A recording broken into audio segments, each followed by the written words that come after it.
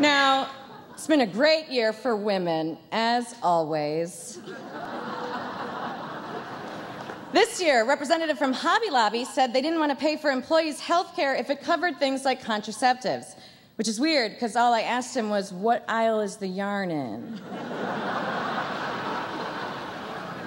Actually, though, I do love Hobby Lobby. I went there this morning and I just bought the cutest little wicker basket to hold all my morning after pills. Idaho Representative Vito Barbieri recently asked if gynecological exams could be conducted by a woman swallowing a camera. But they can't. And now Vito and his wife have ruined a perfectly good GoPro. President Obama came out in support for putting women on money as opposed to the DEA agents who prefer to put money on women. So much to talk about this year. But, of course, the big story the Republicans finally succeeded, and Obama is being forced out of office in 18 months. You did it. And there are so many great people who've already announced they're running for president. It's like, who should I even vote for, Hillary? There's Marco Rubio. It's like, who's better than Marco Rubio, Hillary? And there's Rand Paul. I mean, who's more knowledgeable about foreign policy than Rand Paul, Hillary? And of course, there's Hillary. I mean, who's better on the economy than Hillary? Bill?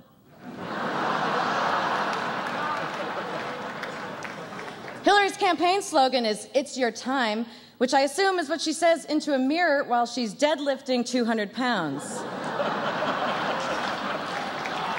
I'm excited about Hillary running, though I'm not sure she's excited about having to run. I think she feels the same way Meryl Streep feels when she's asked to audition for something. Are you kidding me? You making me go through this? I mean, you know I'm to win. Ugh. All right, guys. Now, this next part is a repeat after me, so I need your help here. I want all the media to put their hands up and swear something this election season, okay? I solemnly swear not to talk about Hillary's appearance because that is not journalism.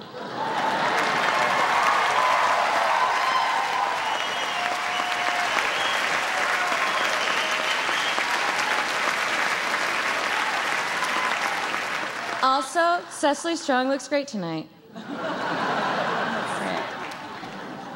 Now, I don't want you to take any of this as an endorsement for Hillary Clinton because I would never blindly endorse a candidate I don't play on SNL. But Hillary Clinton has her work cut out for her. Her Democratic challengers are a who's who of who's that. Jim Webb, Lincoln Chafee, Silas Phelps, Peter Wilkes. Now, those last two were characters from The Adventures of Huckleberry Finn. You didn't even notice, did you? How about that? And let's not forget Martin O'Malley.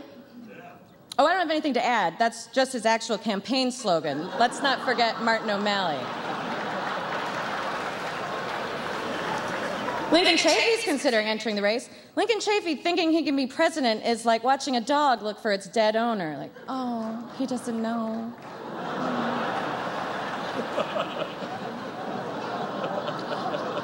A lot of people want Elizabeth Warren to run for president, but many think she's too idealistic and her proposed policies are too liberal. But look at President Obama. I mean, people thought the same thing about him. He didn't end up doing any of that stuff.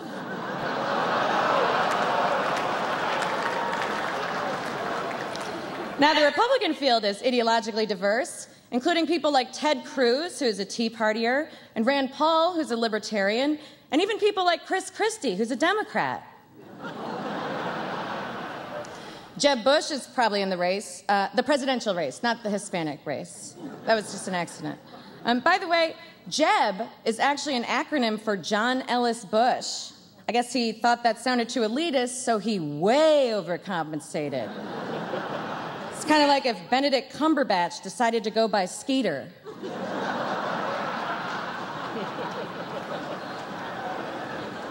Marco Rubio is running for president. When Jeb Bush found out, he said, Ay, Dios mío. Marco Rubio makes Mitt Romney seem relaxed on the air. I just hope Marco gets comfortable in front of a camera before he has to go on TV to endorse Jeb. that one. Chris Christie has said that if he's elected president, he would crack down on states who have legalized marijuana because he believes marijuana is a gateway drug. So, like a bridge to other drugs? And he wants to shut down that bridge? Oh, no, I'm just checking. New poll shows that Chris Christie's approval ratings in New Jersey are at an all time low.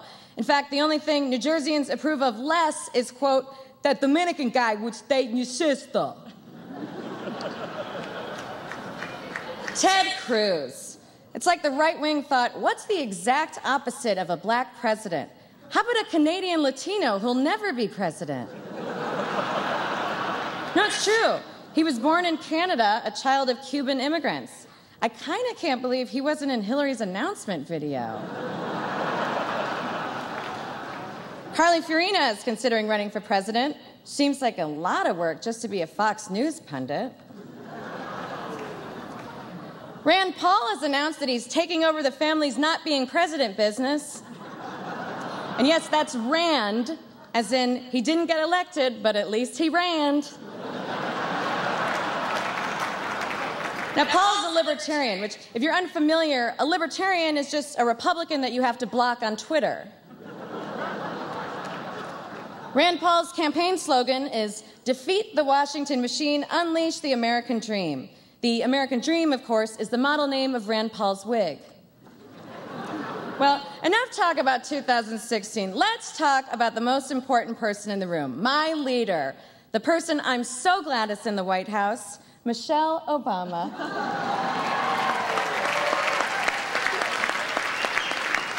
Now, Michelle, you take care of that garden while you can, because in 18 months, you know Bill's turning that thing into an above ground pool.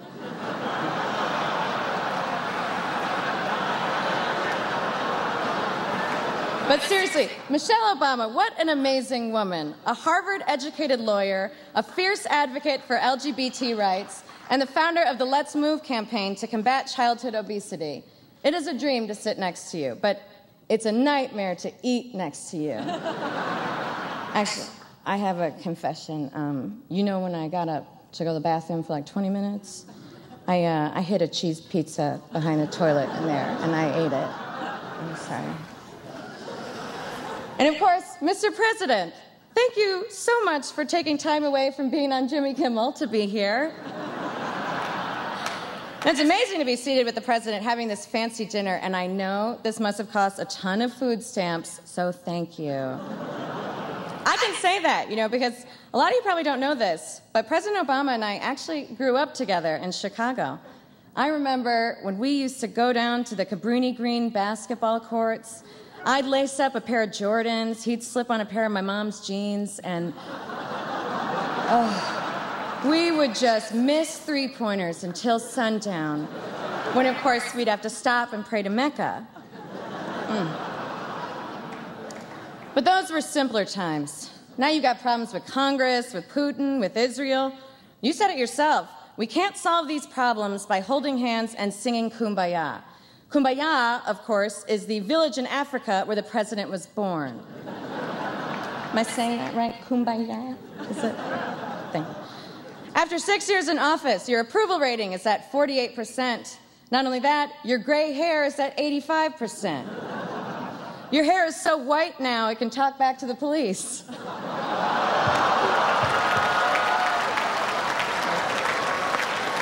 high five about that later.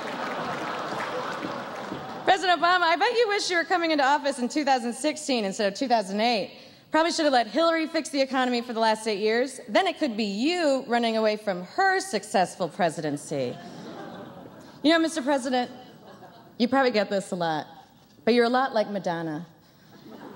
You've both given this country so much, but in like a year and a half, you gotta stop.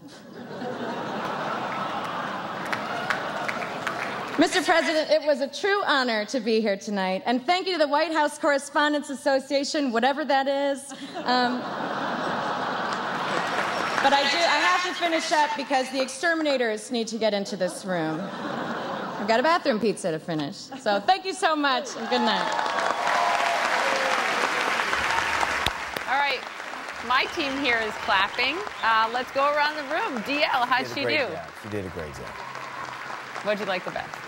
Uh, I, I, I, The gray hair? No, not. uh, I mean, that was easy. I, I, I, I love the, uh, the, the police joke. I, I loved it. Laurie That- Segall. I thought she went there a, a little bit. I, I thought I thought it was good. You know, I wasn't laughing out loud the whole time, but I thought she got some really good singers in. I was laughing out loud at like the Michelle Obama uh, fruit and vegetables joke, and no one in here was laughing with me. Best part.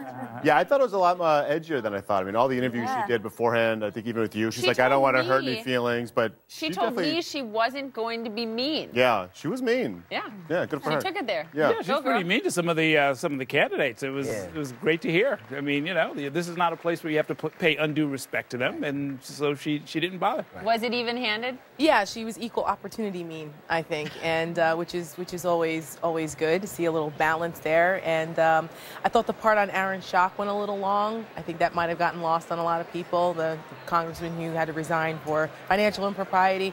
But other than that, I think she did a really good job. It's a tough audience, so good for her. It is a tough audience. Guys, final thought, uh, Errol Louis on, on uh, the president? Um, good successful night. You know, I mean, this is this is what we all expect to see, which is that um, that they can kind of go back and forth, and it's not just the kind of daily hostile sort of institutional back and forth. You, you know what I loved is when Cecily Strong said uh, to make the press swear that we are not going to talk about how Hillary Clinton looks because that is not journalism. And uh, I would say that for all the candidates. This is let's focus on the issues. We're going to take a quick break, but when we get back, we're going to debrief. We're going to take you live to the red carpet and give you those must-see moments from tonight's White House cor- Correspondents' Dinner. Also, what you thought, what the viewers thought of President Obama's speech tonight. Was it funny? Not so funny? What do you think? Let us know on Twitter. There's still time to tweet your answers. Go to hashtag or tweet them to us with the hashtag CNN Vote. We'll be back in just a minute.